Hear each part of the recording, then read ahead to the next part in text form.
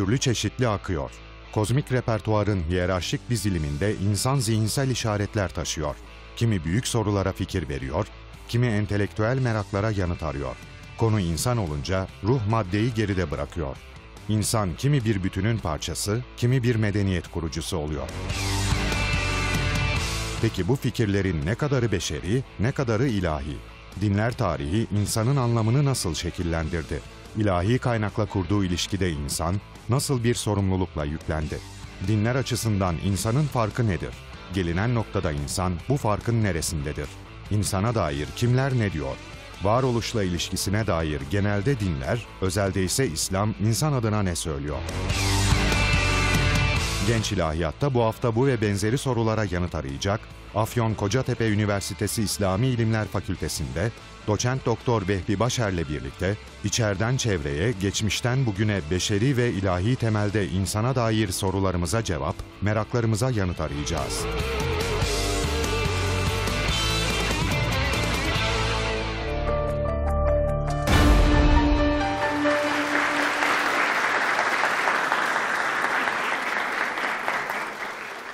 Dostlar Diyanet TV ekranlarından hepinizi sevgi, saygı, hürmet ve muhabbetle selamlıyoruz. Bir Genç programında daha sizlere seslenebilmeyi Cenab-ı Hak bizlere nasip etti. Binlerce şükürle başlıyoruz ve yine daha önce gelmiş olduğumuz duraklardan bir duraktayız. Genç Kervanı. Bugün Afyon Kocatepe Üniversitesi İslam İlimler Fakültesi'nde ve bugünkü durağımız 80. durağımız ve biz adımlamaya devam ediyoruz. Her hafta bir başka koruyu çok kıymetli bir isimle, alanında uzman bir isimle konuşmaya gayret ediyoruz. Sizler ve bizler için o konu hakkındaki soru işaretlerimizi giderdiğimiz kıymetli hocalarımız sağ olsunlar, var olsunlar bizleri yalnız bırakmıyor. Tabii ki bununla beraber bu programın asliyetini oluşturan çok kıymetli öğrencilerimiz, onların varlığıyla, onların sormuş olduğu soruyla ilerleyen içerik varlığıyla da perçinleniyor ve sağ olsunlar bizleri asla yalnız bırakmıyorlar. Müsaade buyurursanız öncelikle sizler ekranlarınızı başına hoş geldiniz ve tabii ki bizleri burada misafir olarak ağırlayan Afyon Kocatepe Üniversitesi İslam İlimler Fakültesi öğrencilerine büyük bir alkışla hoş geldiniz demek istiyorum.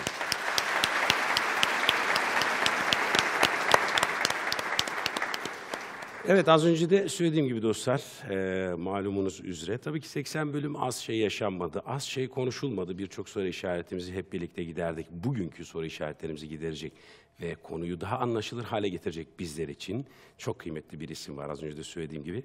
Kendileri Kocaeli Üniversitesi İktisadi ve İdari Bilimler Fakültesi Siyaset Bilimi ve Kamu Yönetimi Bölümü Kentleşme ve Çevre Sorunları Anabilim Dalı Öğretim Üyesi Doçent Doktor Vehbi Başer hocama büyük bir alkışla hoş geldiniz demek istiyorum.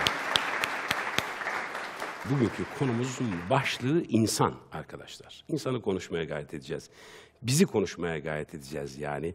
Dolayısıyla alanındaki alanında uzman bir isimle konuyu konuşuyor olmanın mutluluğu ve hazzıyla ben müsaade isteyerek sizlerden programın sorularını yöneltmeye başlıyorum hocamıza. Hocam malum az önce de söylediğimiz üzere insan. İnsanı konuşacağız her yönüyle tabii ki ama bugün e, bir başlangıç olması aşa, e, e, sebebiyle de e, insan nedir ya da ne değildir diye geniş felsefi bir soruyla da başlamış olalım. Böylece bir e, ısınmış olalım hem de bir alt zemin oluşturmuş onun zihinlerimizde insana dair. Buyurun. Yani kendimi insan uzmanı gibi görmekte biraz zorlanıyorum açıkçası aslında. Ama sosyal bilimlerin e, hangi alanında e, çalışıyor ol, olursak olalım ya da genel olarak insan bilimleri daha e, şey geniş bir çerçeve. Hı hı. Bir şekilde insan üzerine konuşmadan yol alamıyoruz. İnsan nedir, ne değildir? Hı hı. Biraz kendimize dışarıdan bakmaya çalışmak derken sanırım kastınız e, daha çok e, insanın görünür özellikleriyle, içinde yaşadığı dünyayla, gerçekliğiyle ilgili şeyler kastediyorsunuz. Tabii çok klişe e, sözler vardır. İnsan işte biyopsiko, sosyo-tarihsel, sosyoekonomik, kültürel bir canlıdır gibi. Bu açıdan bakıldığında aslında insan bir taraftan canlılar aleminin, öbür taraftan da varlıklar aleminin ben kritik varlığı demeyi tercih ediyorum. Yani diğer varlıklar ve canlılar, e, insan dışındakiler, elbette e, hayatın işleyen düzeni açısından olmazsa olmaz bir gereklilik olarak varlar. Böyle olmasaydı onlar da yaratılmazlardı. Veya e, bu dünyanın işleyişi içinde şimdi çok daha iyi anlıyoruz ki biraz çevre sorunları ana bilim dalında çalışıyor olmakla da e, bunu belirtmiş olayım. Biz e, canlı türlerini bugün çok önemli ölçüde e, yıkıma uğratabilecek potansiyeller kazanmış bir canlı türü olduğumuz için görüyoruz ki kendimizi önemsememiz gerektiği kadar onları da önemsememiz gerekiyor. Zira dünyanın, alemin işleyişinde o canlıların katkıları olmaksızın aslında bize müsahhar kılınmış. Bizim hizmetimize verilmiş dünyayı e, eksik buluyoruz. Hatta yaşanması daha zor bir dünya olarak buluyoruz. İşte bu anlamda insan e, belki evrenin demek hoşumuza gidiyor. Böyle kendimizi çok e, büyük algılıyoruz. Ama içinde sınandığımız e, yaşam ortamının en kritik varlığı. Bu şu demek, insan esasen kendine doğru bir yol çizebileceği gibi hatalı yollara da sapabilen bir varlık. Öyleyse insanın bu doğru yolu izlemek sorunu olan canlı olarak tanımlanması uygun olur herhalde. Şimdi bu açıdan baktığımızda içeriden tanımlama aslında semavi dinler ailesinin bir üyesi olarak İslam'ın e, insanın bu doğru yolu bulma çabasında ona bir yol gösterme olma iddiası bulunduğunu görüyoruz. Şimdi iddiası deyince huylanacak arkadaşlarım. Ne yani iddia mı bu sadece? Ee, tabii ki bir iddia. Çünkü dünya aslında insana yol gösterme tarzlarının rekabet alanı. İnsanın doğru yolu ne olacak? Burada önemli bir şeyi hatırlatayım. Diğer canlılar arasında doğru yol sorunu olan bir canlı yok gibi görünüyor. Yani onlarda da azmanlaşma ya da e, kendi e, yaratılış ya da fıtratına aykırı Vay. düşme eğilimleri olabilir. Fakat insan burada yine ayrışıyor. İnsan bunu sadece yaşadığı e, kendi tabiatına aykırı şeyler nedeniyle değil, karar vererek Bilerek, ve isteyerek. bile isteye azmanlaşabilen veya doğru yol olmayan yolda İstikamet ısrar edebilen ve bunun için hem kendisini hem çevresindeki dünyayı gözden çıkarmayı göze alabilecek bir Benciliyet, varlık. evet. Varlık. Kabaca böyle girsek yeter Çok herhalde. iyi oldu. Burada da aslında Güzel başladık mı? Çok iyi başladık Arkadaşlara bence. soralım. İyi gidiyor muyuz? Peki. Teşekkürler. Ben de tam e, insan ne zaman e, insan oldu, e, nasıl insan oldu diye soracaktım. Zira insanlık tarihinin başlangıcı itibariyle e, o kritik varlık diye bahsettiğiniz tanımlamayla insan her e, evrede, her aşamada, her geçen zaman diliminde kendini biraz daha geliştirerek, e, yaşamsal araçları hayatlarına dahil ederek, bununla alakalı tabii öğrendiğimiz kadarıyla işte e, ateşin dahil oluşu, işte tekerleğin icadı, yani işte kesici aletler dolayısıyla hiç durmayan bir gelişim gösteriyor tarihinin başlangıcı itibaren ve yeni araçları hayatı kolaylaştırma adına e, hayatın içine dahil ediyor. E, durağan bir e, durumu, stabil bir durumu yok. Oldukça dinamik bir e, zihinsel de gelişimi var aynı zamanda. Tabii hayatı dahil ettiği bu araçlar dışında benim hani e, insan nasıl insan olduğu sorusunda sormak istediğim yön şu. E, bir yandan da bu e, araç araçları hayatına dahil etmenin, hayatı kolaylaştırmaya yönelik yapılan yeni icatların, mucitlerin yanı sıra e, bir medeniyet de inşa etmeye başlıyor insan. Ahlakıyla, kültürüyle, geleneğiyle, e, gönderilen elçilere tabiyetiyle, onların söylediği değerleri hayata katışıyla, hayatına katışıyla. Dolayısıyla böyle bir e, gelişimi var insanın. O gelişimin başlangıcını konuşalım. Nasıl insan oldu insan diyerek devam edelim isterseniz. Esasen insanın yaratılmış bir canlı mı yoksa ola ola oluşmuş bir canlı mı olduğu biçiminde bir tarafta insanın ola ola oluştuğunu aslında öteki canlıların sürekliliği içinde bir devamı olduğunu söyleyen daha çok da evrimci perspektif dediğimiz bir perspektif var. sanki zorunlu olarak böyle bir evrim gerçekleşmiş olursa, e işte yani öyle pat diye cennetten buraya düşmüş bir varlık değil insan kanıtlanmış oluyor gibi evrime dindar insanların bir alerjisi var. Esasen evrim konusunda pek çok yayınlar yapıldı. Bu yayınlardan bir kısmı dindarların bu eee, modern hayat içerisinde uğradıkları ne diyelim ona bir tür meydan okumaya karşı aslında onları savunmaya yarar. Çoğu da kilise eee, ürünü olan fikirlerin mesela Türkiye'de de dini savunma fikriyatı olarak karşımıza çıktığını görüyoruz. Evrim diye bir şey yoktur çünkü diye başlıyor bunlar. Ve e, evrim olursa haşa huzurdan Allah mallah yaratmadı. Kendi kendine böyle hüdayi nabit yerden bitti bu insan demek olur diye düşündüğü için ve bizi de böyle düşündürdüğü için bu yaklaşım evrime karşı çıkma silahlarıyla donatıyor bizi. Buradaki bir ön yargı mıdır, öğrenilmiş midir, öğrenilmiş bir şey midir? Yoksa e, Darwin e, teorisinden sonra insanlar bu ön yargıyı oluşturması ve maymundan türemiştir insan deyişiyle ortaya çıkan bir karşı çıkış değil midir o? Biz tabii zorunlu olarak derslerde bu konulara girmek durumunda kalıyoruz. Ee, ve diyorum ki mesela evrime inanıyor musunuz? Yani rahatça kendinizi ifade edebilirsiniz. Evrime inananlar el kaldırıyor. Evrime inanmayan ve onu reddedenler var mı? Onlar da el kaldırıyor. Peki arkadaşlar maymundan mı geldik diyorum. Tabii falan diyenler var, yo diyenler var.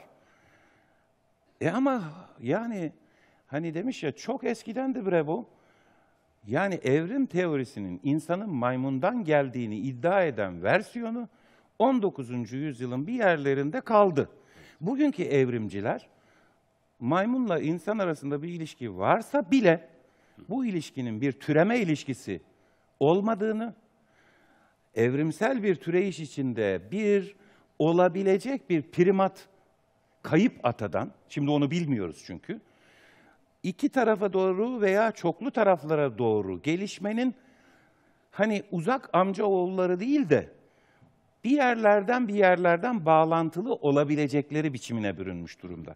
Şimdi bunu söylerken şunu hatırlatmak isterim. Daha batıda Lamarck'ın veya Darwin'in evrim teorileri ortadan ortaya çıkmadan önce bunu İlahiyat Fakültesi dergilerinde falan da okuma şansı vardır arkadaşlarımızın. Bir takım İslam büyükleri, mesela en fazla bilineni bu konuda Erzurumlu İbrahim Hakkı Marifetname. Bunun üzerine sanırım hem Mehmet e, Bayraktar Hoca'nın hem Süleyman Ateş Hoca'nın makalelerini okumuştum. E, evrim benzeri düşüncelerin ilk defa Müslüman toplumlarda ortaya çıktığını ve esasen bunun Allah'ın yaratmasındaki üstünlüğü, mucizeviliği, yüceliği ortaya koymak için bu Müslüman düşünürlerin bu meselelere kafa yorduklarını ileri süren makalelerdir bunlar. Tabii şöyle bir şey oluyor. Yani öyle bir toz duman içinde sloganlarla toslayarak onlara, onlarla karşılaşarak e, bu sloganlar denizinde yüzüyoruz ki makale okumak falan insanların çok da fazla e, zaman ayıracağı bir şey olmuyor. Dolayısıyla ortada bir savaş var. Yumruklar kalkıyor, evrim işte evrim var, yaratılış yok. Yaratılış var, evrim yok. E burada biz aslında gerçeği umursamıyoruz ya da hakikati es geçiyoruz. Maksat ağız dalaşında üstün gelmek, toplumda daha geniş kitleye kendi inandığı gibisinin haklı olduğunu göstermek tarzında böyle bir hayli buna teknik anlamıyla e, diyorum, e, güncel anlamıyla değil, partizan ruhlu. Yani parti ne demek? İşte fırkalar var toplumda. Bunlar çatışıyorlar, mücadele ediyorlar. E, biz de bir cenahtayız. Böyle cenah savunusu içinde dikkat edin de adaletsizlik yapmayın diye bir uyarı var. İnsanlar arasındaki ilişkilerde bile. Biz bu adaletsizliği falan da umursamadan yeter ki galip gelelim. Bu anlamda aslında insanın ilk defa ortaya çıkışı ile bugüne kadar yeryüzü macerası eğer kabaca gözden geçirilecek olursa insanın evrensel ahlaki kritik problemleri asli olarak değişmemiş olsa bile bunların içinde tecrübe edildiği hayat, problemler, insana meydan okuyan ayartılar veya baştan çıkarmalar büyük ölçüde biçim değiştiriyor ve ama insan da bunlara karşı, bu biçim değiştirmiş meydan okumalara karşı kendi ahlaki sorunlarını çözecek yollar arayan, araştıran bir varlık olarak gelişme gösteriyor. Toparlayacak birkaç şey söyleyeyim. Esasen e, yeryüzünde henüz yazı yokken insanlar e, çevrede kendilerine barınaklar yapmadan yaşadılarsa bir dönem, yani buna bir, bir tür tarih öncesi diyor arkeologlar, tarih öncesi insanın asli problemleriyle bizim asli problemlerimizin aynı asli problemler olduğunu belki e, insanın sınavı açısından ve çok soyut bir düzeyde söyleyebiliriz. O soyut düzeyden gerçek tarihsel düzleme indiğimizde çok önemli bir şey söyleyeceğim. Aynı dili konuşmadığımız artık, aynı kavramlarla düşünmediğimiz artık, beş kuşak önceki dedelerimizden çok farklı insanlarız. Öyleyse bu farklı oluş biçimini ciddiye almak zorundayız. Buna kafa yormak zorundayız. Bunun sorunlarını görmek zorundayız. Dolayısıyla hani bizim kayıp bir medeniyetimiz var. Yok canım pek canlı bir medeniyetimiz var. Hala dipdiri ölmedi. Onu hani böyle bir üflesek canlanacak gözüyle baktığımız şey bugün artık içinde yaşadığımız şey değildir. Bunun kalıntıları demeyeceğim belki. Evet canlı, dimdik ayakta bazı eserleriyle ama çoğunu yıktık çünkü. Bazı eserleriyle karşı karşıyayız. Şimdi o eserlere baktığımızda hani sıradan bir Türkiye Cumhuriyeti vatandaşı olarak onları görmeyi, anlamayı, kavramayı beceremiyoruz doğru dürüst. Dolayısıyla o kadar kopmuş olduğumuz bir medeniyeti bu kadar farklı şartlarda ihya edeceğimiz sanısı, zannı bizi pek mutlu ediyor. Eğer böyle bir şey olacaksa bunu yapabilecek e, şekilde yetişsin diye emek verilen gençlerle bir aradayız. O zaman şu kayıp medeniyetimizi anlama cehdi çok önemsenmeli. Dolayısıyla yani mesela bir İslami ilimler ya da ilahiyat fakültesi öğrencisinin yani kaç alsak geçiyoruz abicim biz bu dersleri? Kaç bu? 60 mı? 60'lık çalışırım. Üstü de Allah bereket versin. 70 de olsa olur diye çalışması düşünülemez. Bir uygarlık krizi diyorlar insanlığın sorununu. Siz bir medeniyet var ki o medeniyet bu insanlık krizini çözer deyip mesela Arapça, Farsçaya 60'lık çalışıyorsun. Olmaz yani. Bu karınca o menzile varamaz. Diyelim. O yeter. Toparladım. Yani bir nefes güzel. alayım falan. Teşekkür ederiz. Evet, insana getirilen e, tanımlar, dini inançlar, tarafından nasıl şekillendirildiğini konuşarak devam edelim istiyoruz. E, zira semavi dinler öncesinde yaşayan e, insanlar, ataların insana dair tanımları, onlara vermiş olan, atfedilen değerle e, bugün arasındaki fark e, ki siz üç kuşak önceden atalardan bile farklı bir e, bakış açısıyla evrildiğini söylüyorsunuz zihnen, e, ruhen, e, yaşam itibariyle insanın. Onu sormuş olayım. Bir de bilimsel yaklaşımın insanı yaşam üzerinde ayırdığı yerle İslam'ın ayırdığı yer arasında benzerlikler de var, e, fark belirgin farklar da var. E, biraz da hızlı gitmek adına bu iki soruyu da birleştirmiş olayım. Bu benzerlikler ve farklar nedir diye bir göz atarak devam edelim. Yani dünya ateşten bir toptu diye başladık. Buraya gelmek bayağı zor olacak. Şimdi e, kadim geçmiş yani aslında semavi dinler öncesi e, ne kadar götürülebilir? Böyle baktığımızda mesela Hinduizm, Zerdüştlük e, veya Konfüçyüs öğretileri falan bunlara baktığımız zaman esasen insanın işte bu sözüne ettiğimiz kritik varlık oluşunu anlamlandırmaya girişik e, yönelik çok önemli iddialar ve teklifler var insana bu e, kadim öğretilerde. Nihayet bu öğretiler zaten İslam bir medeniyet haline gelirken bir takım Müslüman kılıklara bürünerek İslam medeniyetine de şimdi biraz ürkütmeyi göze alarak sirayet ettiler diyeceğim. Sadece bunlar değil, eski Yunan düşüncesi de eee, mesela Süryaniler aracılığıyla Arapçaya çevrilerek eski Yunan düşüncesi de e, Müslümanların medeniyetine sirayet etti. Bu anlamda e, bir ürkek ayrım yapmak isterim. İslam medeniyeti dediğimiz şey esasen medeniyetler coğrafyalarını fethetmiş Müslümanların bu kadim medeniyetlerin meydan okumasına karşı kendi inanç ve yollarını yeniden tarif etmeleri demekti. Çoğu zaman bu o medeniyetlerin problemlerini tanımak ve bunlara Müslüman bir cevap bulmak şeklinde oldu ki bu bir ölçüde aslında Müslümanlaşan bu medeniyet e, bakiyesi nüfusların da İslam'ın içine kendi medeniyet problemlerini taşıması biçiminde gerçekleşti.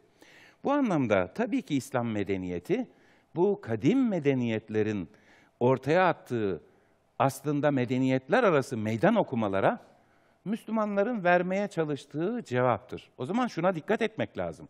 Medeniyet insanın ne kadar ilahi lütuflar ve nimetlerle olursa olsun, ne kadar ilahi vahyi izleyerek olsun. Sonuçta İslam medeniyeti aslında oryantalistlerin koyduğu bir isimdir. Müslümanların medeniyet maceraları da insani, beşeri bir performans demektir. Müslümanlar mütevazi olmak durumundadırlar.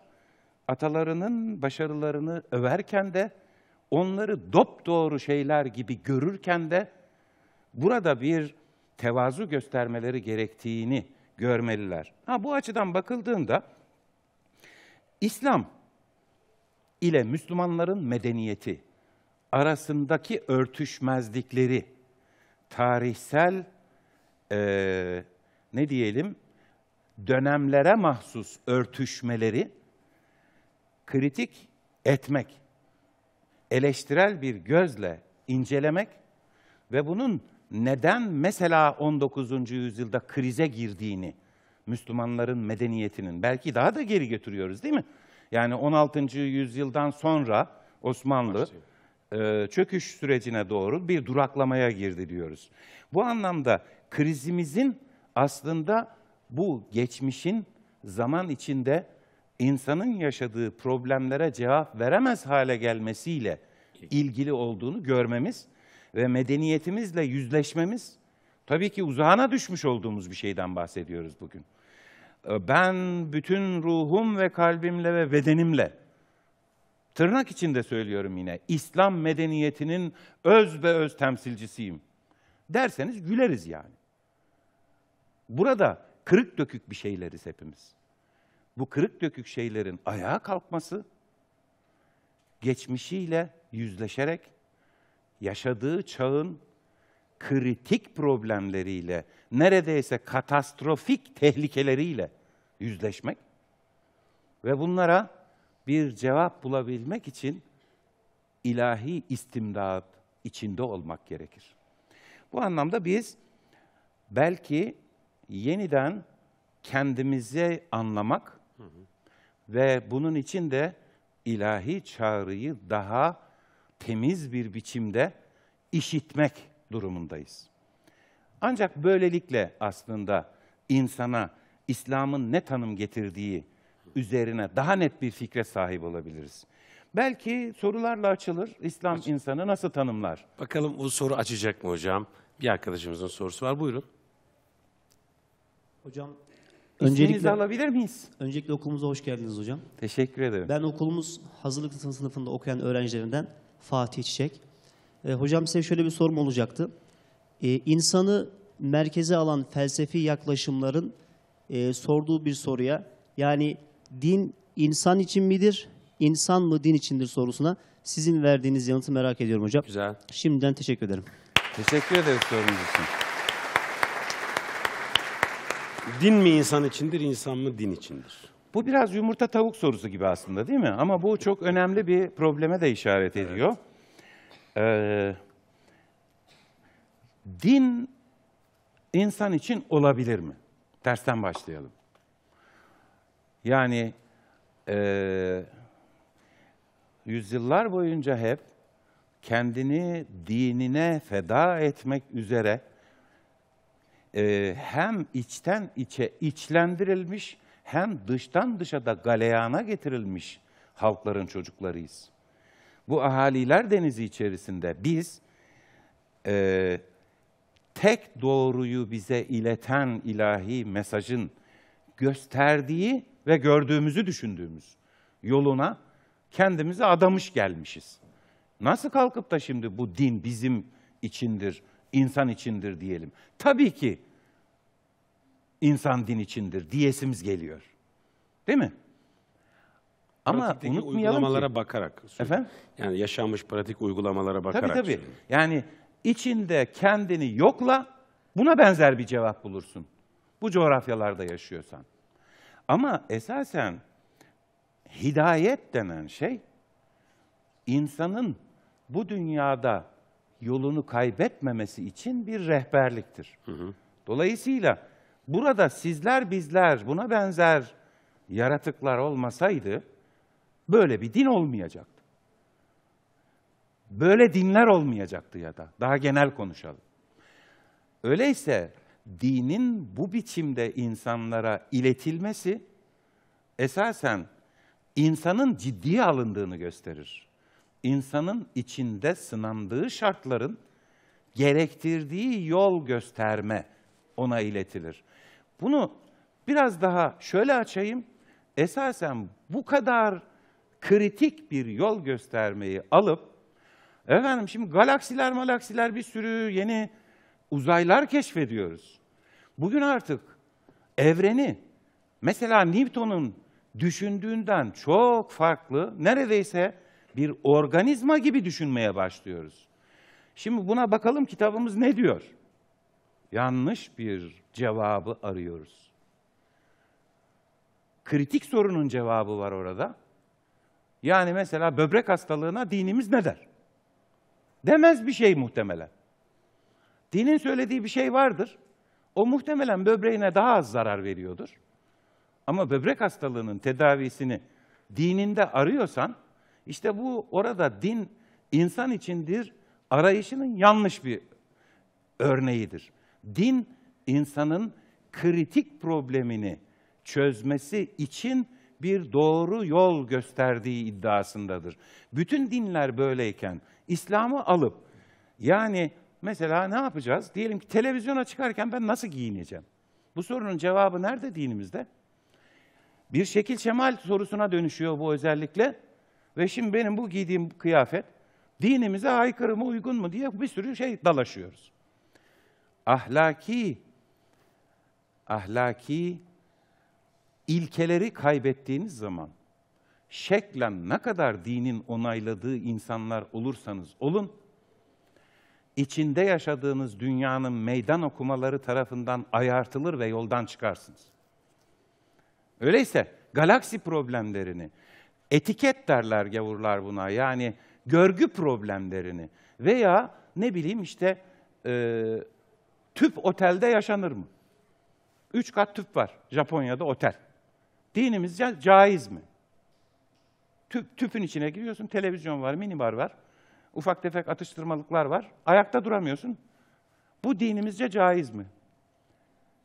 Biraz fazla her şeyimizi dinimize e, götürerek aslında dinimizi asıl çözeceği problemi çözmekten de alıkoymuş, onu aslında istismar etmiş, suistimal etmiş oluyoruz. Bilmem sorunuza cevap oldu mu?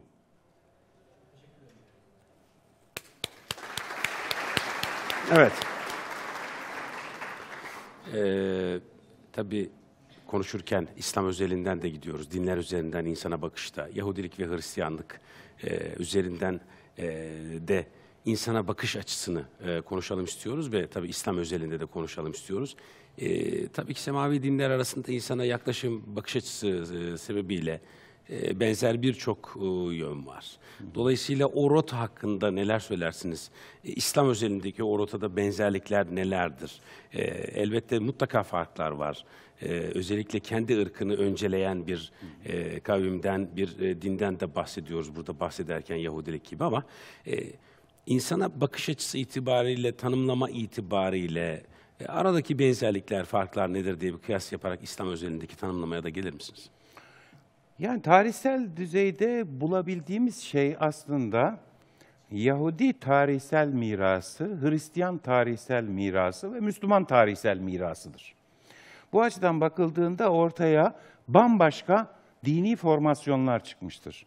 Halbuki önce Hristiyanlık, sonra İslam esasen Allah'ın doğru dininin aynı din olduğunu ve ee, Kur'an'da adı zikredilen peygamberlerin getirdiği mesajın hep aynı mesaj olduğunu, kendisinin de bu mesajın bir tazelenmesi, canlandırılması, yeniden insanlığa tebliğ olduğunu ileri sürer. Tabii şimdi kendimizi bir medeniyet varisi toplum olarak düşündüğümüzde, e, Hristiyanlığın insan tasavvuru, Nietzsche gayet haklıdır. Son derece nihilist bir insan tasavvurudur. Yani insanın dünyevi macerasını tümüyle günah, dünyevi şartlarını tümüyle tırnak içinde pis, el sürülmemesi gereken, uzak durulması gereken şeyler olarak koyan bir karanlık çağ mirasıyla karşı karşıyayız. Ha böyle söyledim diye Müslümanların da bu tür nihilist e, gelenekler oluşturmadıklarını söylemeyeceğiz. Adil olalım. Müslümanların tarihinde de bu tür nihilist gelenekler vardır. Bu anlamda İslam medeniyetinin çeşitli versiyonları Hristiyanlıkla bir hayli benzeşmiş olarak karşımıza çıkıyor. Yahudiliğe geri dönelim mi bilmiyorum ama Yahudilik e, Yahudi peygamberlerin e, Davut aleyhisselam, Süleyman aleyhisselam gibi kral peygamberlerin kurduğu büyük egemenlik çöktükten sonra büyük sürgün döneminden itibaren Yahudiler kendi hem dindar duygularını hem de toplum olarak bir tür asabiyetlerini ayağa kaldırabilmek için bir şekilde kendileri olmalarını anlamlı göstermek zorundaydılar yeni nesillerine. İçinde yaşadıkları şartlar çok ağır ve kötüydü. Bu şartlarda Yahudi kalmayı, aslında Musevi dememiz lazım. Musevi kalmayı anlamlı gösterebilecek hiçbir şey yoktu. Siz üstün insansınız. B- bütün ötekiler, bunlar aslında yarım insan demek zorundaydı Yahudilik. Biraz anlayalım yani bunu. Çok benzer şartlarda Hristiyanlar Orta Çağ'ın bir yerinden sonra Müslümanların galebe çalmasıyla bir krize girdiler. Hristiyanlar açısından Müslümanlar esasen dindarlık iddiasında bulunamayacak kadar bunu söylemek durumundayım. Yani ne diyeceğiz ona? Adamlar inançsız diyor. Adamlar şehvetperest diyor. Adamlar savaş çığırtkanı diyor. Buldukları bu adamların kendilerine galebesini hazmedemediler. Bu nedenle yani bunu teferruatlı anlatabiliriz ama e, bir taraftan kuzey e, a, yani Avrupa'nın güney sahilleri, Akdeniz'in kuzey sahilleri Müslüman karsanların eline geçmiş.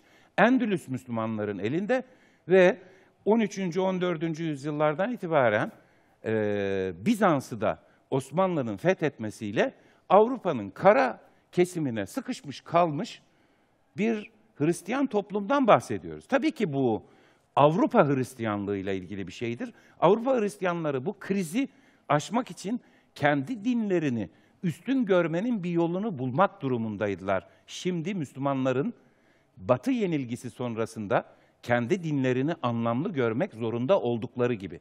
Dolayısıyla insan üzerine getirilen açıklamalar bir ölçüde bu büyük medeniyet hareketlerinin krizlerine de cevap teşkil edecek şeylerdir. Ee, ben biraz daha tarihsel anlamanın, bakın bu vahyi tarihsel anlama iddiasıyla ilgili değil, kendi iddialarımızın tarihsel açılımlarını görmemizin önemli olduğu kanaatindeyim. Çok benzer biçimde Yahudilerin zillet altında kendilerini yüceltmeleri, Hristiyanların zillet altında kendilerini yüceltmeleri gibi bir şeydir Müslümanların. Modern tırnak içi bu. Batı egemenliği altında içine düştükleri zillet karşısında kendi yollarını yüceltme arayışları. Bilmiyorum çok mu soyut kaldı söylediklerim? Yok buna bir örnek verebilir miyiz? Bir söylev ya da bir e, iddia var mı bununla alakalı? Hani e, üstünlük şeyini e, söylemeli motivasyon olarak dediniz o dinin. Zamanın Ve ötesine sorunları üstünsün. atma biçimimiz böyle bir şeydir.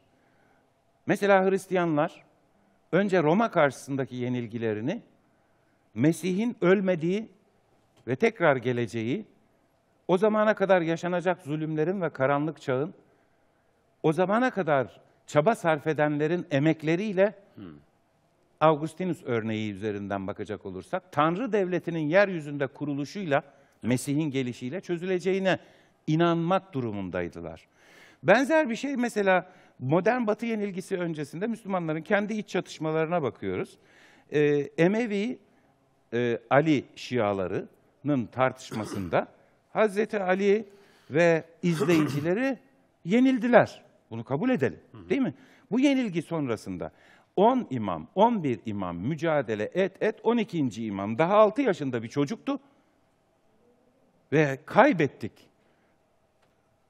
Yani Şii ruhunu anlatmaya çalışıyorum.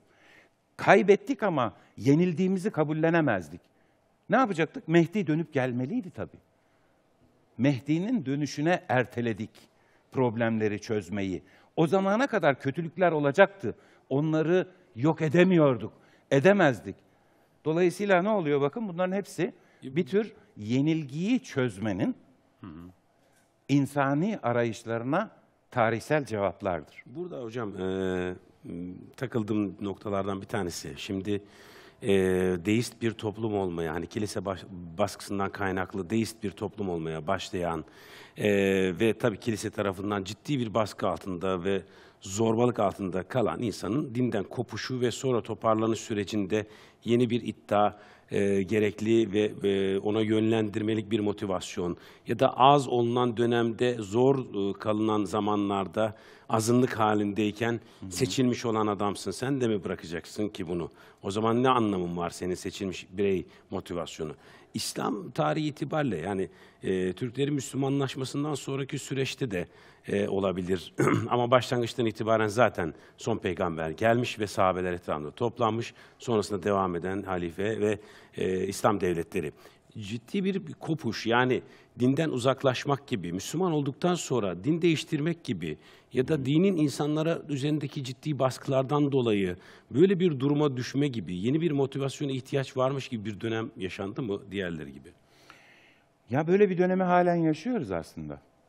Yani tarihimizde defaatle e, yaşadığımız medeniyet krizleri var. Bu krizlerden belki 14 yüzyıllık Müslüman tarihinin en büyüğüyle karşı karşıyayız. Ve e, belki tuhaf gelebilir arkadaşlarımıza ama bugün aslında toplumun deist eğilimler kazanmasına dindarların kontrolsüz ne diyelim ona tedeyyün şampiyonlukları böyle dindarlık gösterileri yapmaları da büyük hizmetler veriyor. Yani insanların kitleler halinde değil mi? Ee, son surede fevç fevç değil mi? Ee, Allah'ın çağrısına gelecekleri zamana hazırlananlar. Böyle mi olmalı? Fevç fevç insanları deist yapacak bir gösteriş dindarlığı adeta fışkırıyor toprağımızdan. Bu biraz içine düştüğümüz aslında zilletten kurtulma sarhoşluğunun eseri. Türkiye, e, İslam coğrafyasının bir hayli şanslı bir ülkesi gibi görünüyor bugün. Dolayısıyla elde ettiğimiz fırsatlar bir hayli dindarca bir hayat arzı endamı şeklinde topluma kendini deklare etme biçiminde e, fırsatlar olarak kullanılıyor. Böyle olunca da dinden uzaklaşacaklar için de yeterli bir itici Argüman. e, ne diyelim buna? İtici bir din performansı sergilemiş oluyoruz. Dindarlık performansı. Daha mütevazi olmak lazım değil mi efendim? Hani hep e, İslam'dan bahsederken öyle şeyler söyle, söz ediyoruz ki Müslümanlara bir bakıyorsunuz mütevazi mi? Yo, pek mağrur. Yani e, israf etmez mi? Acayip savurgan. Hani kıst ile yaşayacaktın? Hani israf etmeyecektin? Nedir yani israf? Orada da anladığımız şey ne? Suyu boşa dökme, abdest alırken bir tas suyla abdest al falan. Yahu sen bir yerlerden bir yerlere gidiyorsun ders görmek için. Senin için biz litrelerce benzin döküyoruz. Abi bu ne iş ya? Yani bunları sorgulamıyoruz. Bunlar sanki gerekli, kaçınılmaz. Yani Müslüman medeniyetinde böyle elektrik israfı olur mu? Böyle benzin israfı olur mu? Allah bütün mamutları siz böyle tepe tepe egzoz gazı çıkarın diye mi yerin altına gömdü? Bir kuşakta bütün bu petrolü bitirecek misiniz? Kaç kuşakta bitireceksiniz? Sormayacak mıyız bunları? Bunları sormadığımız sürece bu dünyanın kendisine emanet edildiği varlıklar olamayız. Bu ihtiyaçları kullanmayınca da hocam geri kalış, teknolojiden e, uzak kalış gibi algılanıyor. Yani bunlar gerekli değil mi? Yani israf boyutuna son derece katılıyorum. Yani e, makul olanla, mutedil olanla aşırıya kaçınılan anları ve zamanları ve durumları anlıyorum. Ama e, araçla gelme özeli ya da burada yakılan ışıkların fazlalığı gibi. Hani bu, bu asliyetleri kullanmayınca ki e, görülen tavır da e, işte bunun için geri kalıyoruz gibi bir tavır. Teknolojiyi iyi kullanmıyoruz gibi ya da bu imkanlardan yararlanmıyoruz. İşte ona binmeyince o arabayı da yapamıyorsun işte gibi bir suçlamaya e, dönüşmüyor mu? Ya şimdi A sınıfı A++ falan değil mi? Beyaz eşya var. Gönül arzu ederdi ki İlk bu çıksın. Müslümanlar bunu akletsinler değil mi efendim? Yani A++ enerji sınıfı e- elektronik eşya kullanmakla övünen insanlar haline geliyoruz. Ama bakın dikkat ederseniz biz cayır cayır elektrik tüketen buzdolaplarını sormadan, sorgulamadan aman canım çağın icabatı diye evlerimize soktuk. Hatta ben hatırlıyorum benim çocukluğumda başbakan diyordu ki elektrik tüketimimiz yani kişi başına elektrik tüketimimiz ileri ülkelere göre çok düşük. Bunu yükseltmemiz lazım. Ben bunları kullanmayalım demiyorum. Ama Aşırıya kaçmaktan. aldım kalemi elime. Bu kalemin benim ruhumla iltisakını düşünmeden bunu rahat rahat kullanamıyor olmalıyım. Evet. Ha bu anlamda Yani Müslüman evrende tek yaşayan, dünyada tek yaşayan canlının bizmişiz gibi davranış biçimi bu coğrafyada işin açıkçası çok doğru. Başta da söylediğiniz gibi. Evet, evet. Diğer canlıları önemseme benim aklıma şey geldi. Ee, geçtiğimiz yıl e, beyefendiler daha iyi bilir. Bir markanın hani bu egzoz salınımı ve e, emisyon değerleriyle alakalı bir mesele vardı.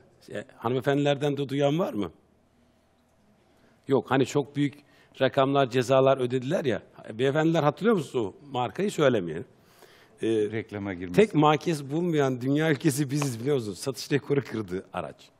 Şöyle, e, emisyon arızası nedeniyle bunun bir önemi yok. ya şöyle, arabanın yürüründe onun normal hayatını etkileyebilecek herhangi bir sıkıntı, satarken bu arabanın değeri düşüyor muymuş sorusu cevaplandığı sürece pozitif, Evet. bir önemi yoktu yani ülkede. O Maalesef. anlamda söylüyorum. Bu aşırılık Yani e, bakışına katılıyorum önemli. açıkçası. Rikkatle hayatı yaşama. Bu anlamda biz böyle Daha- "Ee, o zaman ne yapacağız? Kullanmayacağız mı abi? Ya bu kadar ucuz ucuz olmayalım yani. İddialarımız gibi değildi. Daha mümince yaşamak. Evet, Söylediğimiz evet. gibi çok önemli. Ve eğer bu yapılabilirse, bakın o emisyon salınımını da Müslümanın akletmesi lazımdı, değil mi? Yani bu, halbuki bize şöyle böbürlenen insanlar model oldular. Bu yedi silindirli araba, sen de at arabasına biniyorsun, yürü. Değil mi? Ataları böyle aşağılanmış insanlar, şimdi bak gördün mü, yüksek teknoloji. Ne yapıyorsun? Sana basılan havayı sen de basıyorsun. Böyle hava basmak Müslümanca mıdır? Senin o kırılmış gururun, senin de değil doğrusu, dedelerinin kırılmış gururunun, değil mi? Tamiri değil. Ha, onu ödünleyen, onu tamir eden bir hoyratlık içinde Müslüman olunmaz. Doğru İslam dünyasında 8 silindirli jiplerin bir de benzinli oluşunu anlayamamışım. Ee, e, bundan aslında anlayamamış oluşum e, açıkçası. Evet bu kaynak e, insanlık için Allah'ın bahşettiği büyük bir kaynak ama neden ısrarla sonuna kadar bitirmeye çalışan bir insan var onu da konuşalım. Ama e, sokağa her hafta soruyoruz biliyorsunuz dostlar konumuzla alakalı. Sokağın sesi çok kıymetli. Onlar konumuzla ilgili neler söylemiş? Bir veterimiz var. İzleyelim mi kalmış olduğumuz yerden devam edeceğiz. Sakın bizden ayrılmayın. İnsanı insan yapan nedir? değerleridir. İnsanın e, yaratılışında var olan, e, onun özüne konulmuş olan, yaşam boyu da devam ettirmesi gereken değerleridir. Dürüst olacağız. Yalan konuşmayacağız, sözümüzde duracağız. Kötü işlerle uğraşmayacağız, sevmeyiz o kötü işleri. Ee, insan insan yapan değerler tabii ki kendisini yaratana karşı vermiş olduğu e, imandır. İnsanın dünyadaki yeri nedir? İnsanın dünyadaki yeri e, çok kıymetli bir varlığız biz. E, yararlı işler yapmak e, ve ya- diğer insanlar gelecek insanlara da yararlı şeyler bırakarak menfaatli olmamız gerekiyor. Öncelikle insan e, dünyaya Cenab-ı Allah'ın bir elçisi olarak gelmiştir. Ve biz bu dünyada e, maddi ve manevi imkanlarımızı Allah'ın huzurunda, ibadetleri ve Kur'an'ın yolu ve ışığında yaşayarak hem bu dünyamızı hem ahiretimizi kazanmamız gerekiyor. İnsan gibi yaşayıp memleketine, milletine, devletine sadık olmak. Dinsel açıdan bakılırsak dünya insan için yaratılmış, onların var olması için olan bir mekan olduğunu düşünürsek dünya insan için dünya gayet önemli bir şey haline geliyor. Ama hani dini açıdan çıkıp da felsefi açıdan baktığımız yine varoluşumuzu gerçekleştirdiğimiz mekan olarak dünyanın insan hayatının önemli bir yeri oluyor haliyle. Peki insanın sorumlulukları nelerdir? Ya insanın sorumlulukları bütün dünyaya bence. Ya bunu açarsak hayvanlara, topluma, çevreye çöp atmamak bir sorumluluktur bence. Çevreye karşı, kendine karşı önce kendine saygısı olacak. Sonra çevreye karşı duyarlı olmak lazım. Ee, en başta tabii Allah'a olan sorumluluğu. Allah Teala'nın Hazretleri onu gönderdiği yani Allah Teala onu insan olarak yarattığı için ona karşı bir takım sorumlulukları vardır. Yani sorumsuz olarak e, yaratmamıştır. Ya bu en büyüğünden yani dini açılardan başlıyor. Kul hakkından, namazından, orucundan, diğer her şey içerisine giriyor. Dinler açısından insanın anlamı nedir? Allah insanları kendilerine kulluk etmesi için yaratmıştır. Allah'ın yarattığı bir varlıktır. Bütün dinlerde de böyledir bu. İnsan varlığıyla çevresine, ailesine, doğaya karşı sorumlulukları vardır. Peki insan açısından inanç ne anlama gelir? İnanç insanın e, aslında dünyasını düzenleyen, e, onu bir noktada otokontrol altına alan, e, manevi boşluğunu dolduran e, değerlerin, düşüncelerin tamamıdır. Bir düşünceye ba- gönülden bağlı kalmak, ona itaat etmektir. Peki insan bu yer ve sorumluluğun kaynağını nereden edinir? Kur'an-ı Kerim'den e, Peygamber Efendimizin bize bıraktığı sünnetleri takip ederek Ee, e, en büyük dini vecibeleri olarak düşünüyorum ben. Öncelikle yaratılış fıtratını bilmesi gerekiyor. Bu dünyada bizden sonra gelecek insanların ve Cenab-ı Allah'ın bize burada bir emanet verdiğini ve bizden sonra gelecek nesillerin ve insanların burada yaşayacağını, bu varlıkların ve değerini, kıymetini bilerek yaşamamızı gerektiğini düşünüyorum. Bu sorumluluğu yerine getirdiğimizi düşünüyor musunuz? Evet. Düşünüyorum evet. Evet. Evet düşünüyorum. Evet. Peki nerelerde yanlış yapıyoruz, neleri yanlış anlıyoruz? Şimdi biz e, şurada yanlış yapıyoruz. Mesela bir komşumuz olsun veya bir akrabamız, bir arkadaşımız mesela ihtiyacı olduğu zaman ona yardımcı olmuyorsak, vatana millete yardımcı e, olmuyorsak mesela e, görevimizi yapmıyorsak orada yanlış yapıyoruz. Birbirimizi yanlış anlıyoruz. Doğru dürüst dinlemeden, anlamadan hemen fikir beyan ediyoruz. Saygılı davranmıyoruz. Sevgiyle yaklaşmıyoruz. Ve iyice şiddete doğru hızla gidiyoruz.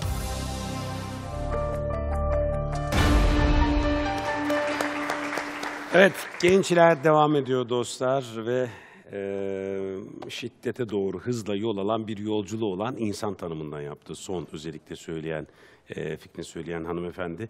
Ve hakikaten de insan olma e, sınavına hocam yeteri kadar e, insanlık çok dönemde veremedi açıkçası.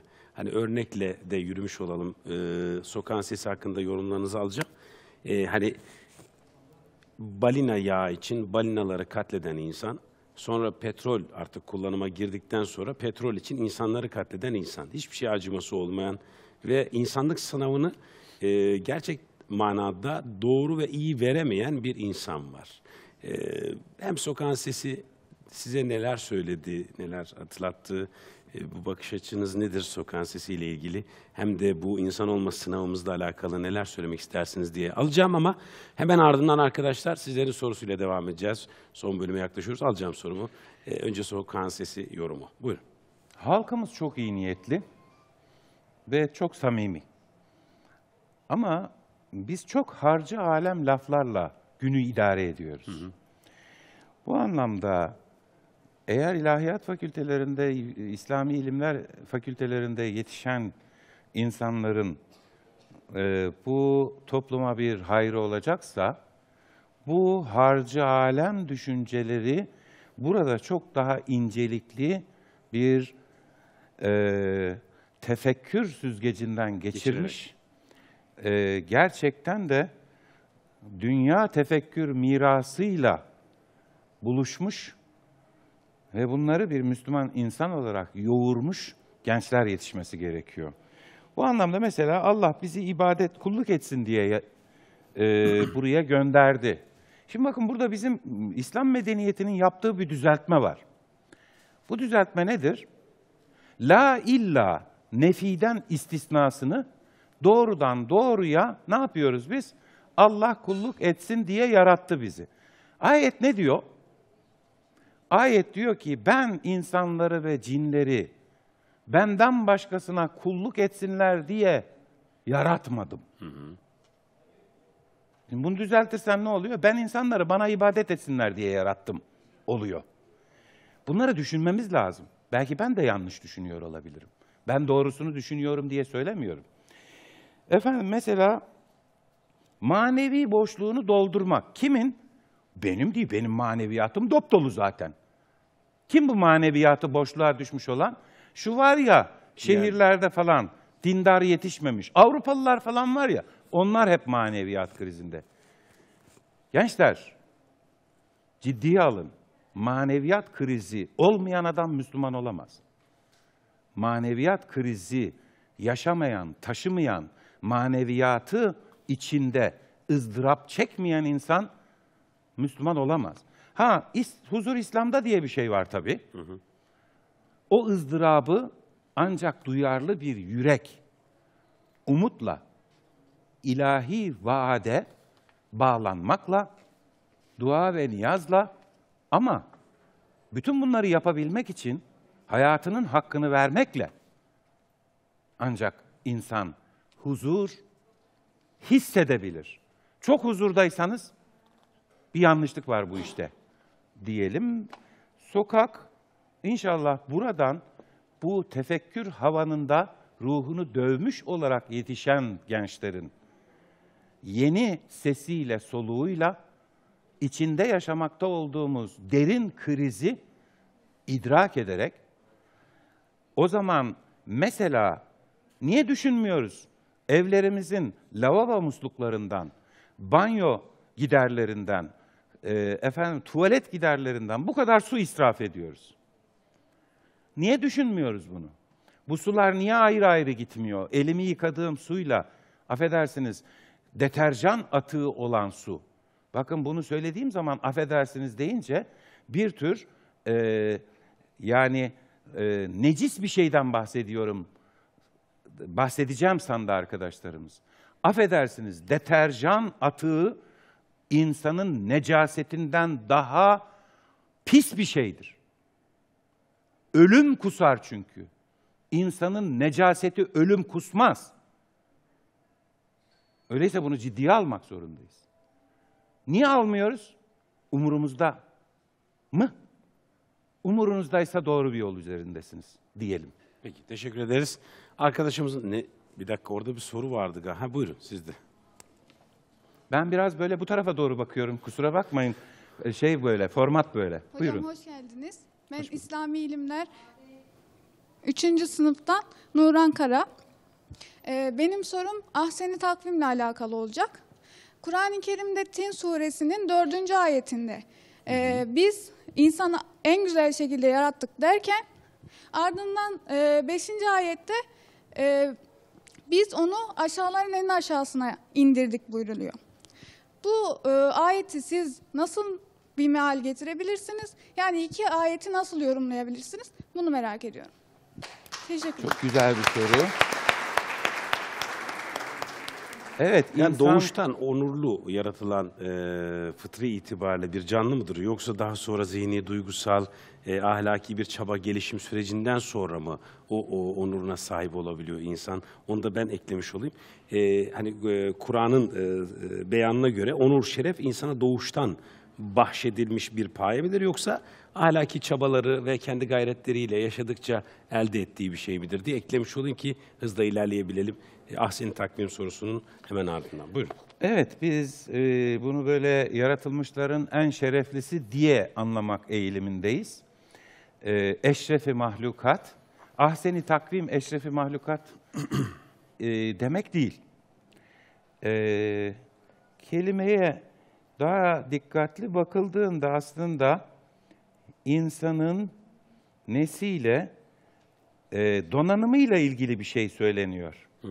Yani insana bahşedilen kalıp, endam, nispet, form, insanı insan yapan tarife, şifre, program, bu ahsendir. Tabii bu ahseni takvimi en iyi şekilde, en güzel şekilde demek, en doğru şekilde, en yerli yerinde bir kıvam veya e, işte bunu daha şey e, söyleyebiliriz farklı kelimelerle, kelimelerle. Bu aslında insana emanet edilen kendi varlığını tanımlar. Oysa esfeli safiliğin insanın nesini anlatır? Tefsirlere bakacak olursanız yaşlılık çağını anlatır diyenler var. Yani bu ahseni takvim gençlik çağıdır. Esfele safiliğin de insanın yaşlılık çağıdır. Böyle de anlaşılabilir mi? Anlaşılabilir. Ama bana kalırsa insanın radednahu dendiğine göre insanın gönderildiği bir durum anlatılıyor ve bu açıdan yaşlının da gencin de içinde sınandığı ortam esfele safilin ortamıdır diye de anlayabiliriz. Bu anlamda hayat koşulları ki bu mesela e, sınav ayeti mi diyeceğiz? Ve lenebluvennekum Bismillah değil mi? Bir şeyin minel havf diye başlayan ayet. Şimdi bu nedir bakın? Korku, açlık, başka? Evet, mallardan, nefislerden, mallardan, ürünlerden. Evet, noksan bırakma, yok eksiltme. E, size eşlerde, kantarlarla ta- tartılan altınlarda falan değil mi imtihanlar? Bu ne demek? Bu içinde bulunduğunuz koşullarda esas sınavınız bakımından bir esfeli safiliğin var demek. Öyleyse insanı esfeli safiliğin şu. Hani kim bunlar? Bunlar yavur mavur işte onlar falan. Bak burada bir istikbar var bunu görün istiyorum. Biz Müslümanlar ah seni takvimin değerini anlamış insanlar. Bunlar bunlar yok canım. Çok beleş bir şey bu. Çok ucuz bir şey. Zafer ilan ediyorsunuz yeryüzünde. Halbuki Müslümanın da olmayanın da içinde sınandığı şartlar. Bu şey değil bakın, imkanlar değil. Allah'ın nimetleri ile sınanırken esas sınav bakımından aşağıların aşağısı bir şey içinden kıpırdıyor insan. O esfeli safiliğim. Öyleyse onu yeneceksin. Bu anlamda esasen esfeli safiliğin tam da şeytanın iddiasını doğrulayacak. Bunlar, bunlar beş para etmezler. Bunları şimdi, bak bu var ya, bu çamurdan yarattığın sefil. Bunu ben iki adım fısıldayayım, yoldan çıkmış bulacaksın. Bu mu benden üstünde buna secde et diyorsun? Esfeli safiliğim. Şeytan, şeytana haklı çıkaracak insanın yönelimleri. Bunlara dünyevi dedik. Aa, tabii ki dünya koşullarında, ahirette böyle uya- ayartılar var mı?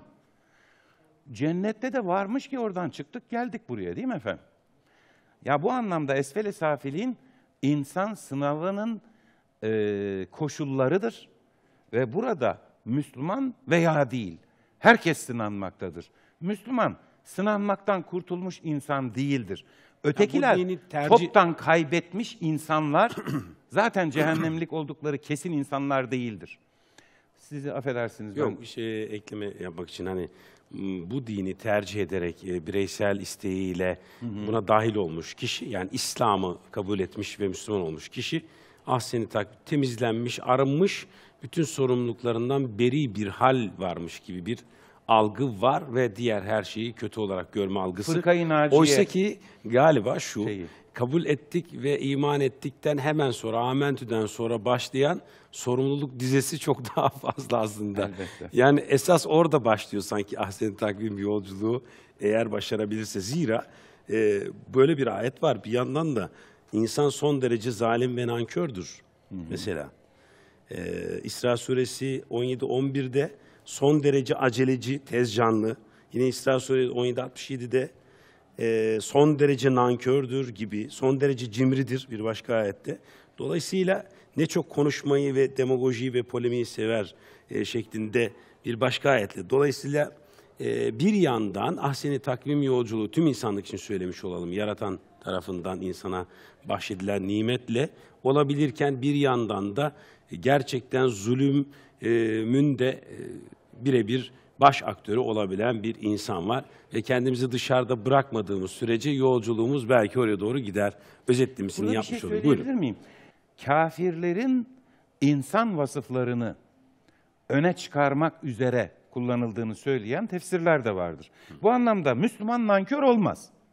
Ama insan olarak nankörlük vardır in- Müslümanda da. Eğer e, ne bileyim işte ya hani e, edelim ibadetimizi. E, e şunlar şunlar yerine gelince umulur ki kurtuluruz. E, hala nankör müsün? Yani sana bir iyilik ulaştığında şükürle karşılıyor musun, karşılamıyor musun? Efendim cahil cahil, çen çen çen tartışıp üstün gelmekten başka derdin yok mu? Yoksa işte insansın yani. Giderek böyle bir aa, ne diyelim ona işte e, car car car car car bir tartışma üslubu televizyonlardan vesaireden de üstümüze boca edilerek hepimize matah bir şeymiş gibi benimsetiliyor ve insanlar Müslümanlığı savunuyorum. Tabii öyle de olacak, böyle de ol. Ya bir dur. Sakin ol bir. Bir olmuş gibi ol. Olacak olunca olma. Şimdi bir ol değil mi? Yarın ölürsün çünkü. O zaman mı olacaksın? Şimdi ol, şimdi diyelim. Evet mikrofon neredeydi? Göremiyorum. Buyurun efendim alalım sorunuzu. Selamünaleyküm. Hocam öncelikle hoş geldiniz demek istiyorum. Hoş bulduk. Ee, insan... İsminiz Ee, nedir arkadaşım? Ee, İslam Bilimler Fakültesi 3. sınıfta okuyorum. İsmim Musa Boz. Merhaba Hocam Musa. ee, akıl ilahi ee, ilahi vahiy muhatabı ve insan erdemlerin kaynağı. Çünkü akıl olmadan ne sorumluluk ne de ceza ehliyete sahip olabilir insan. Peki insan akıl olmadan insan olabilir miydi? Ne olabilir Bu- miydi? İnsan e, aklı olmadan insan olabilir miydi? Hmm, evet. Buradan hareketle insanın akıl ile vahiy arasında başlattığı çarpışma gerçekçi midir yoksa insanın kendisine açtığı bir savaş mıdır? İnsanın akıl ile vahiy arasındaki eylemini değerlendirmenizi rica edeceğim. Teşekkür ediyorum. Güzel soru. Benim aklım bana gelen vahiy ile çatışıyor. Mu? Kimin aklı bu? Nasıl bir akıl bu? Şimdi bakın burada özellikle e, oryantalist e, çalışmalarla batıda yaşanmış bir hikayenin ithal bir problem olarak karşımıza çıktığını görüyoruz. Akıl vahiy ile çatışır. Nasıl çatışır? İsa Tanrı'dır dersen çatışır. Nasıl ya? İnsan bu. Şimdi yanlış olarak biz ateist eşittir Allahsız sanıyoruz mesela değil mi? Batı'da ateist İsa'nın tanrılığını kabul etmeyen insan demektir. Esasen bir yüce tanrı fikrine de karşı çıkıyor olabilir. Ama ateizmin esas kaynağı batıda İsa tanrı olamaz. Ben böyle tanrıyı reddediyorum. Tanrı öldü diyor Nietzsche. Tövbe estağfurullah bismillah. Allah nasıl ölür ya? diye hissediyorsun. Ya kardeşim Tanrı Jesus Christ ölmedi diyorlardı. Adam onu öldü diyor. İsa öldü mü? Ha şimdi burada da bizim kafamız başka türlü çalışıyor. İsa öldü mü, ölmedi mi? İnsandı ve öldü diyor adam. Benim aklım ölmemiş bir insana yatmıyor. Buna karşı kilisenin geliştirdiği işte e, nedir? E, inanıyorum e, şunun için formülleri vardır Orta Çağ'da. Bu anlamda akıl ile vahyin çatışması teolojik doktrinlerin tırnak içinde dogma olarak bunu bu pakete açma. Bu böylece alacaksın cebe koyacaksın. Bunu düşün. Ya aklıma geliyor benim. Düşünmeden duramıyorum ben. Düşünmeyeceksin. O öyle. Fazla kurcalama. Kafayı yersin. Bakın bu paketlerin içinden hep dogma çıkar. Bu dogmalara savaş açmış bir din olarak Müslümanlık 1400 yıl önce değil. Bütün peygamberler kuşağı boyunca egemen dogmalara savaş açmış bir ilahi tebliğ olarak gündeme gelir. Ve tam da bu tebliğ insana aklını kullanmasını, bu tür saçma sapan şeylere inanma noktasında kendi atalarının dinine dil uzatmasını ister. Bu ne demek? Dogmaya karşı bir akıl çığlığı varsa, bakın Kur'an tezekkür diyor, tefekkür diyor, taakkul diyor. Niye diyor? Akılla vahiy, hangi vahiy kardeşim? Bana Kur'an'da akla aykırı bir şey söyleyin. Bu akla aykırı, benim aklım bunu almıyor. Onu konuşalım. Ama teolojik doktrininde Müslümanların pek çok dogma vardır. Katolik Hristiyanlıkla karşılaştırıldığında bu gene çok cüz'i bir dogma e, dizisidir. Öyleyse bu dogmaları kim oluşturduysa onlar bakın insani bir performans içinde bu ürünleri vermişlerdir, bu fikirleri geliştirmişlerdir. Onlar dinin özü falan değildir. Tarihin bir döneminde adına da sonradan İmam nokta nokta hazretleri de denmiş olabilir. Sen kendi başına hesabını vereceğin bir sınavdan geçiyorsun. Diyor Kur'an her yerde tek olarak karşıma getireceğim ve hesaba çekeceğim sizi. Beni çekecek. Beni çekecek.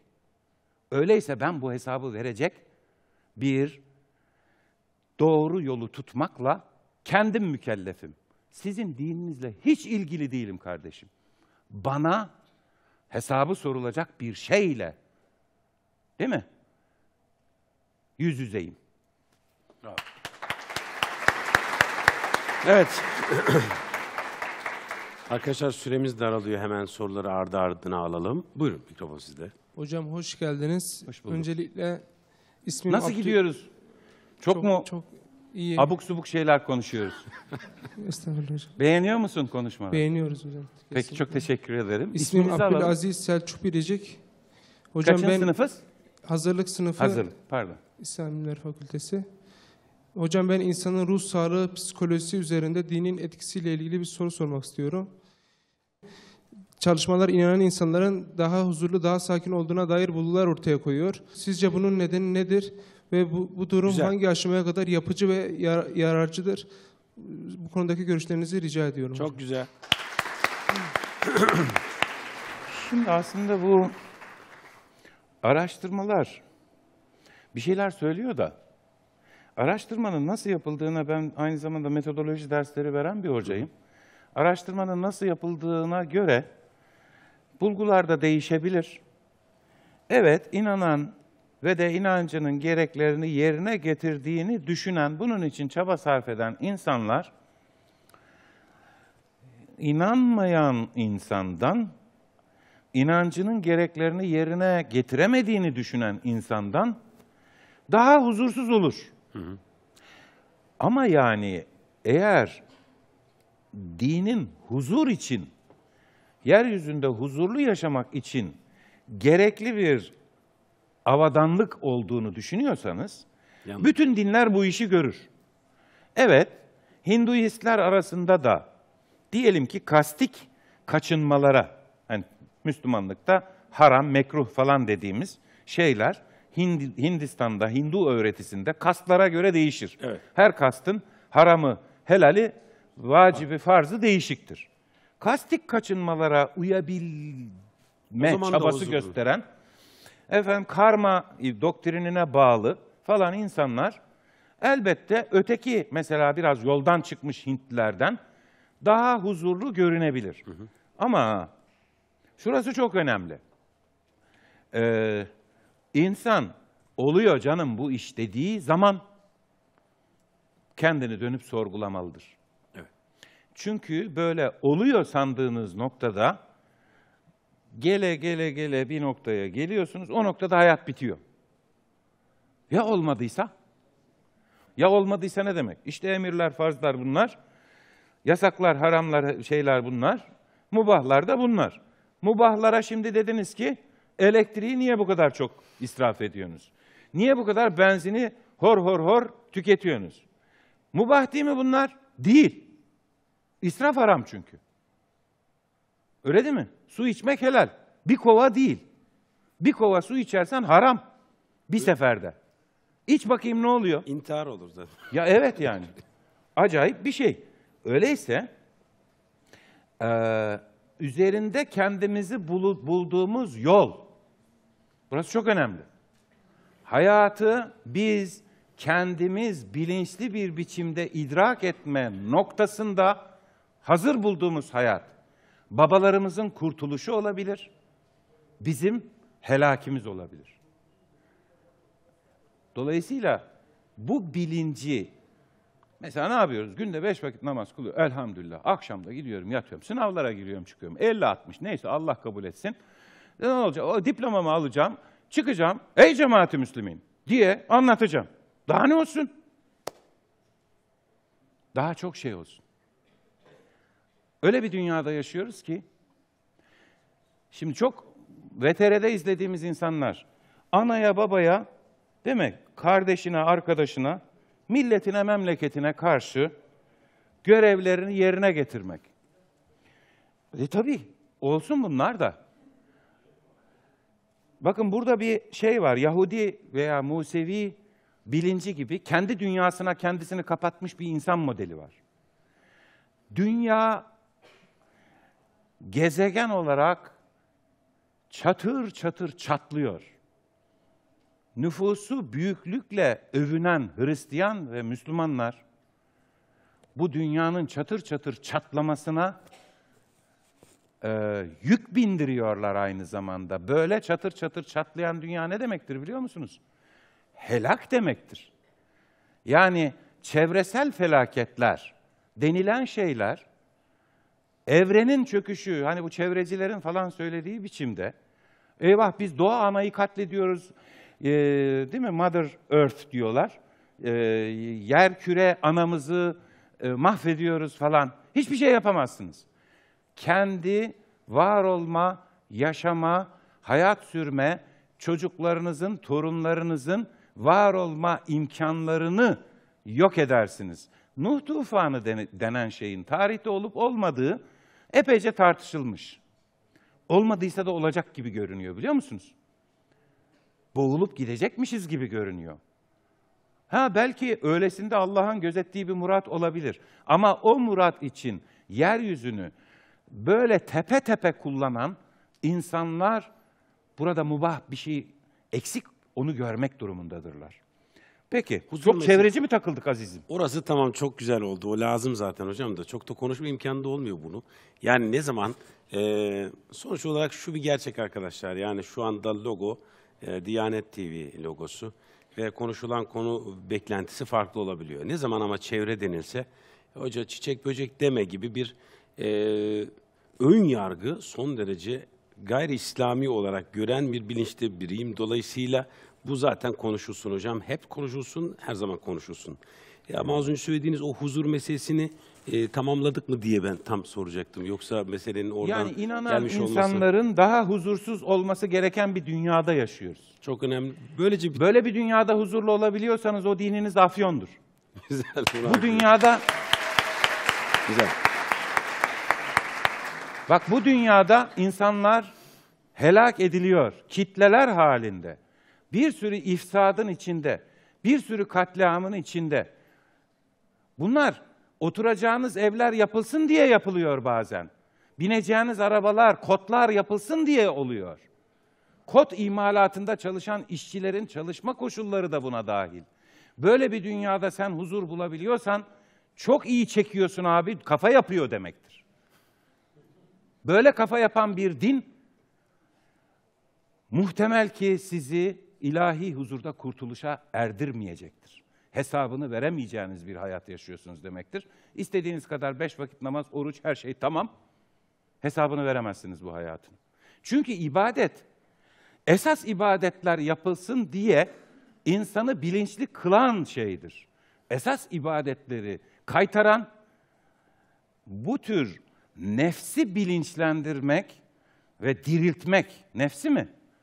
Nefsi doğru yolda diri tutmak için yapılması gereken şeyleri yapıyorsun. Nefsin eğri bir yolda uyuya uyuya gidiyor. Ne güzel hayat. Huzur içindeyiz. Nereye gidecek? Afyon çekenlerin gittiği yere gidecek.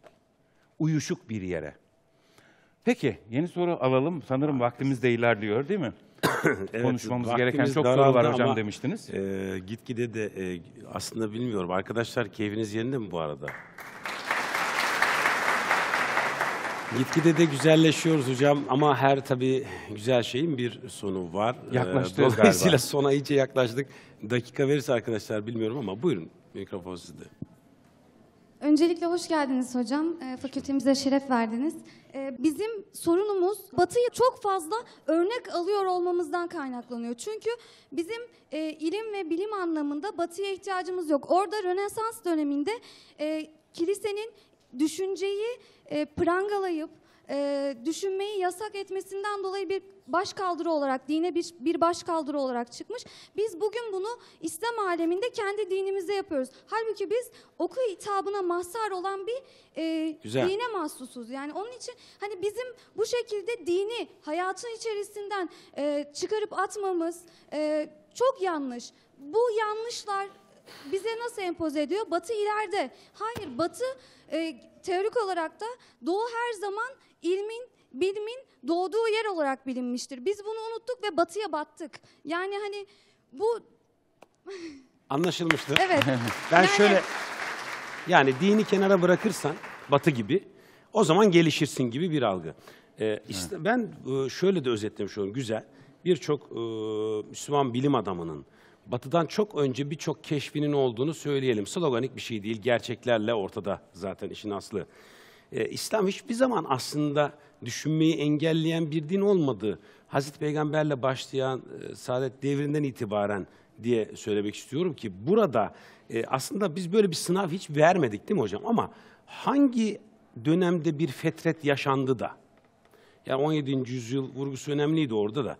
Nasıl bir anda bu kadar gelişimi, bu kadar düşünceyi dünyaya yayabilen, bu kadar e, öncülük yapabilen bir e, dinin mensupları nasıl bir fetret dönemi yaşadı ya da nasıl bir inkıtaya uğradı? O kesretin sebebi ne ki e, bu geri gidiş oldu? Yoksa hiçbir zaman engel olmadı ki teşvik eden bir din mensubiyeti olmasına rağmen Müslümanlar.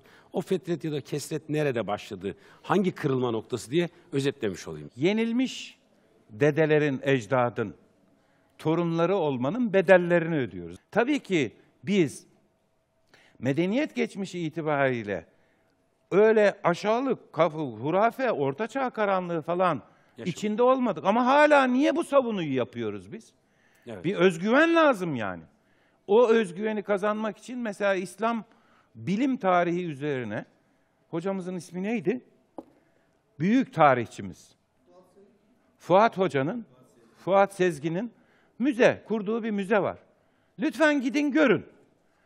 Tarihimizin öyle bir karanlık çağ tarihi olduğu nesiyle aşağılık duygusuyla yetişmiş ve bizi de o aşağılık duygusuna mahkum olmaya çağıran maalesef Türkiye'de bu aşağılık duygusu ve geri kalmışlık bilinci insanları üniversiteden mezun ederek yerleştiriliyor. Üniversiteyi bitiriyorsun. Ne işe yarar? Geri kalmışık abi anladık. Ya üniversite niye bitirilir? En fazla ile, iler, ilerlemeye inanan insanların ilerleme adına bize kattığı ne var? İlericilik fikri. E bu olmaz yani. Ha bu anlamda bizim kendi medeniyetimizde gocunacağımız bir şey yok. Ama beyler, hanımlar, yeter artık bu geçmişle iftihar etme.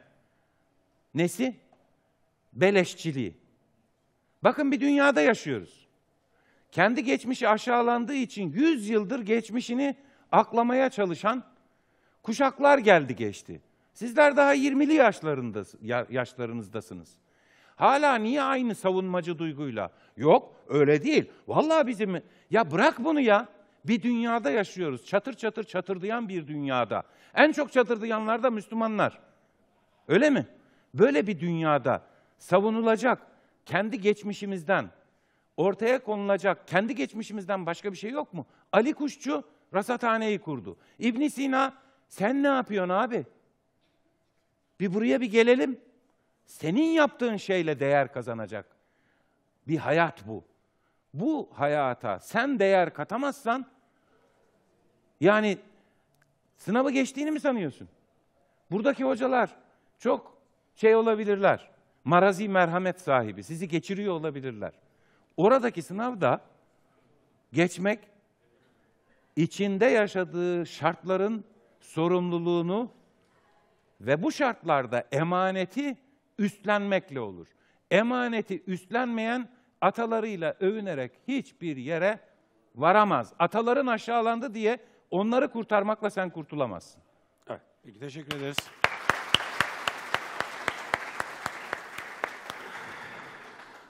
Taşın altına eli koymanın zamanlarını Evet. yaşıyoruz. Herkes kendi sorumluluğunu bilerek e, karınca yolculuğu yapmayacağız uyarısı aklınızda hep kalsın. 60'ta geçilen sınav e, başarılarını beklemiyoruz sizden. Seneye de bir bakmış olalım gelirsek hocam buraya bugünden sonra. Kulağımıza küpe olsun. Peki normalde süremiz doldu ama son bir soru alalım. Çok hızlı bir cevap verelim hocam. Mikrofon nerede size buyurun. Hocam Esselamu Aleyküm ve Rahmetullah ilk önce. Aleykümselam. Ben hazırlık sınıfı öğrencisi Adnan Şahin. Bir soru bünyesinde eğer izin verirseniz birkaç küçük sorular soracağım hocam ben size. Çok hızlı ve kısa. Çok hızlı. Hı hı, buyurun. Hocam Allah bizi yaratırken kendi ruhundan üfledi. Yani biz Allah'ın bir nevi bir parçası hükmündeyiz yaratılış hilkatiyle. Ve ilk inen ayetlerde diyor ki İkra bi- bismi rabbikellezi halak halakal insane me halak. Yani Allahu Teala bizi bir kan pıhtısı üzerine, bir çamur birikintisi üzerine ve sevgi üzerine yarattı. Hocam benim size sorum şu. Allahu Teala bizi sevgisiyle yarattı ve bu sevgi nasıl bir sevgi ki gerek Şems Tebrizi ve Hazreti Mevlana olsun, gerekse Hazreti Peygamber Efendimiz olsun. Yani Peygamber Efendimiz daha önce geliyordu, özür dilerim. Bunlar büyük zatlar olsun. Bunların sevgisi nasıl bir sevgiydi ki Allahu Teala'yı çok fazla yani aradılar, çok fazla buldular. Çok fazla yol kat ederek geldiler Allahu Teala'ya yaklaştılar. Ve ikinci sorum olarak bu sevgileri ele alıp da şimdiki günümüzdeki sevgilerin kıyaslamasını yaparsak nasıl bir sonuca varırız? Teşekkür ederim hocam. Sevgiyi konuşalım diyorsun. Peki.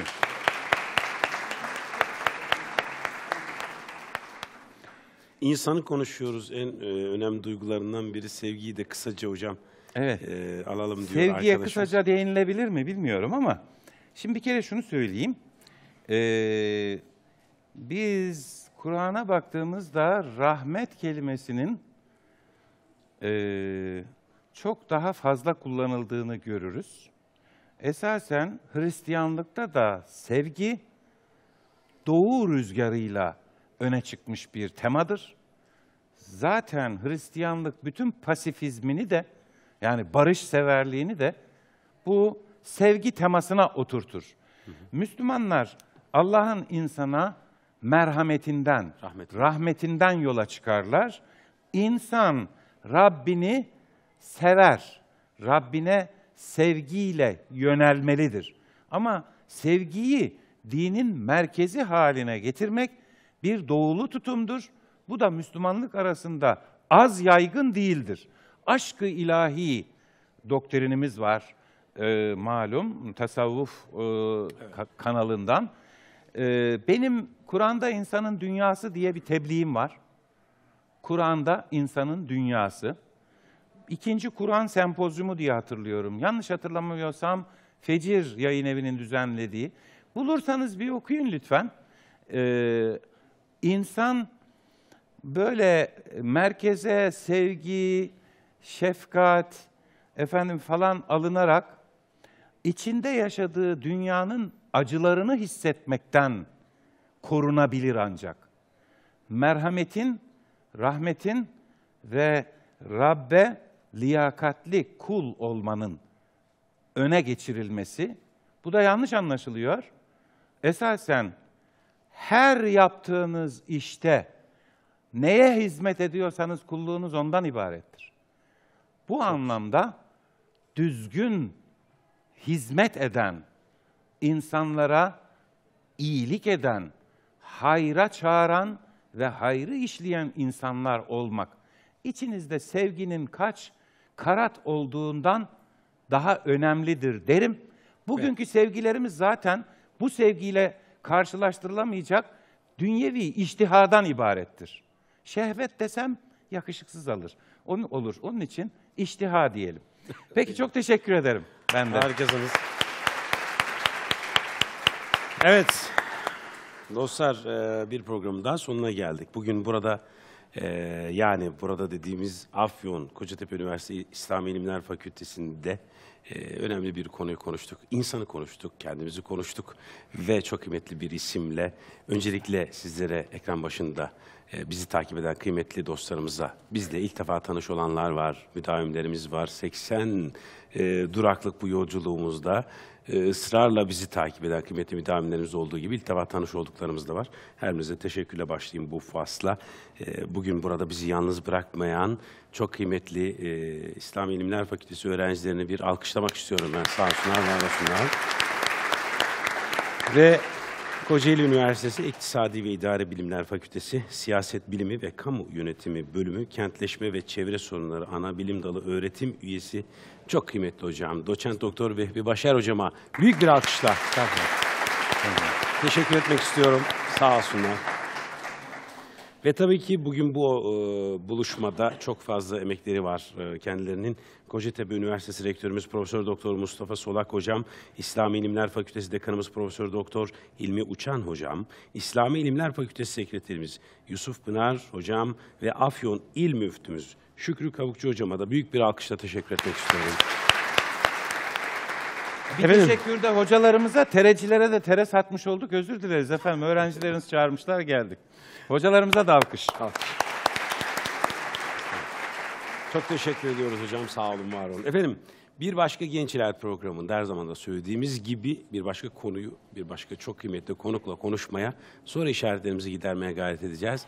O buluşma anına dek sizlere Allah'a emanet ediyoruz. Hoş kalın, hoşça kalın. Hocam teşekkür ederiz.